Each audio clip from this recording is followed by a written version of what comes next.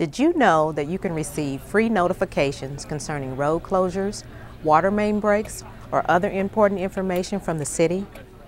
The city uses a free service called Nixle to send secure, neighborhood-specific information to residents who subscribe to the system. Through Nixle.com, the city can send text messages and email notifications to subscribers in a specific area down to the quarter mile. Individuals may register by texting their zip code to 888-777 or by visiting Nixle.com and providing an address or nearby intersection, a cell phone number, and an email address by which to receive notifications.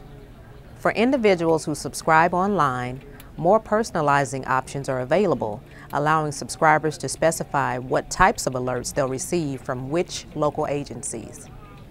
Typical information sent to subscribers from the City of Kansas City may include alerts, which are sent for urgent matters that could adversely affect life and property, such as boil orders and health pandemics. Advisories are sent to residents in a specific geographic area regarding such things as water main breaks, major road closures, snow ordinances, and unscheduled city office closures. Community messages are neighborhood notifications sent through email, such as scheduled trash delays, city-sponsored events, or back-to-school vaccination clinics. The police department also uses Nixle to send notifications such as missing person bulletins and other public safety alerts. Nixle is available at no cost to residents of Kansas City, Missouri. However, standard text message rates apply to subscribers who do not have text plans with their cell phone providers.